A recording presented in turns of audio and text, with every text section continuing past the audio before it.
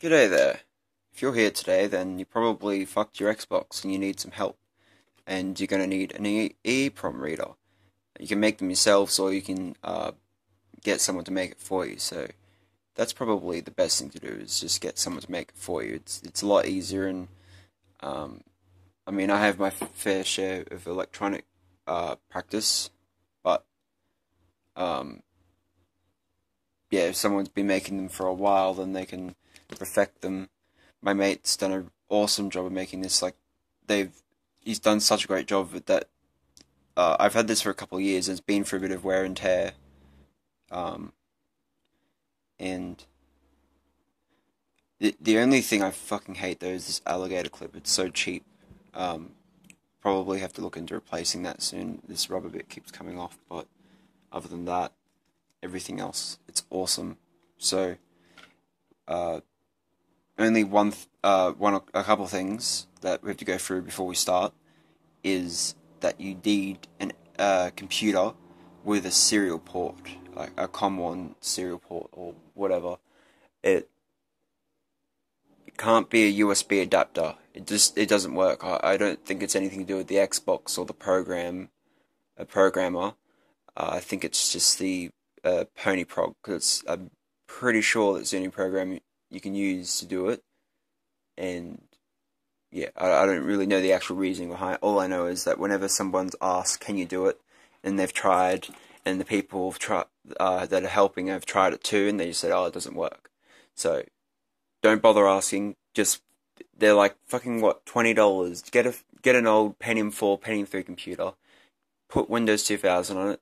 It's easy. Just talk to grandma. Grandma has one. Anyway, let's get started. So you're going to need a program called uh, Ponyprog. See that?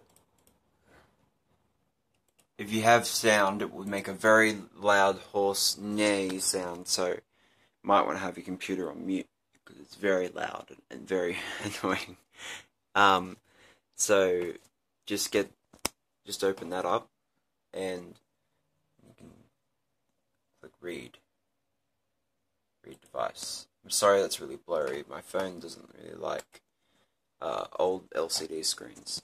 But yeah, you just press read while that's in there.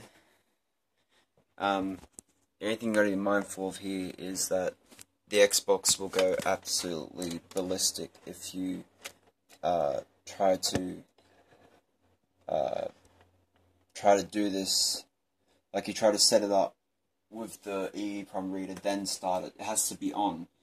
So the only thing you got to be careful of there is is not to try to kill yourself with the power supply because it is active and it is on and it will really hurt. So just try to keep all your fingers and your arms and whatever in the left side of the Xbox and not on the right side. I mean, obviously, I'm speaking from experience here, so you know we're not laughing at anybody here. All this I learnt the hard way. Unfortunately, that's what that's why I'm showing you this. Obviously, I wouldn't have an EEPROM read otherwise. Anyway, um, so before I turn this on, I'll just show you for reference. Red goes on the top uh, second right, and the blue goes on the top second left. Put that in there, and the alligator clips. They can go into the side of the Xbox, just like that. Alright, so you might want to get a friend to help you with this, if you have any friends, or maybe your mum. I know your mum likes to help me a little occasionally, so she should be right with that. Because you don't have three hands, obviously. Um, I've done this before, so she'll be right. Uh, you just got to get someone to click read device while you get, you get your hands in the motherboard. And uh, to turn on the, um, the Xbox. You've got to be quick with this. I got. Alright.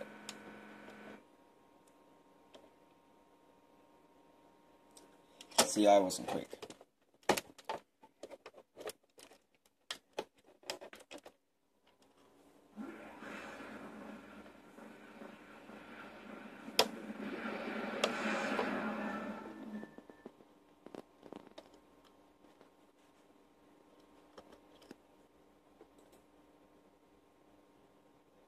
Okay. Red.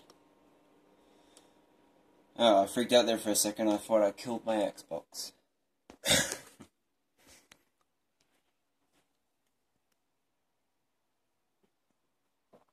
um, there we go. Pretty successful.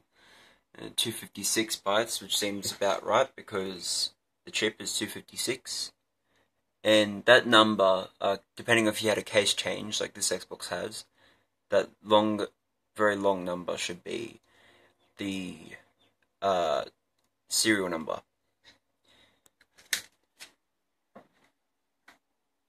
So yeah, um, so we don't kill anyone, better uh, unplug all this. So after reading the EEPROM,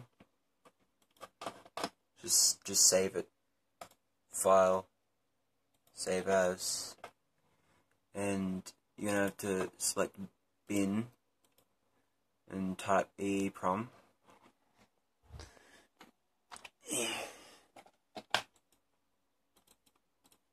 Fuck.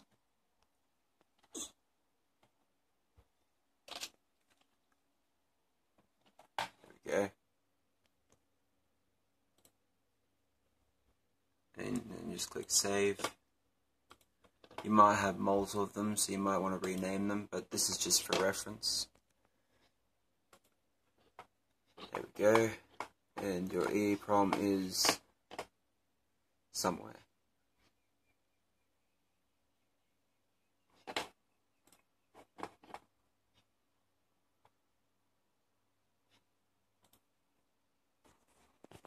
There it is. It is on the desktop.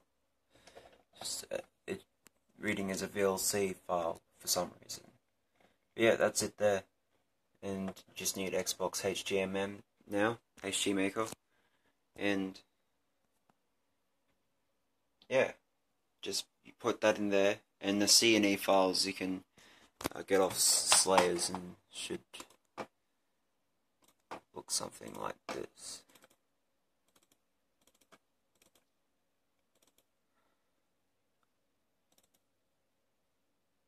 There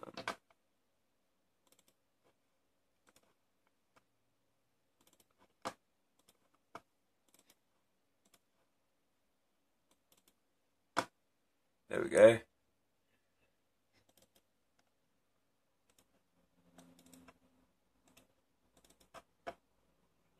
There you go. Easy. And uh, Slayers is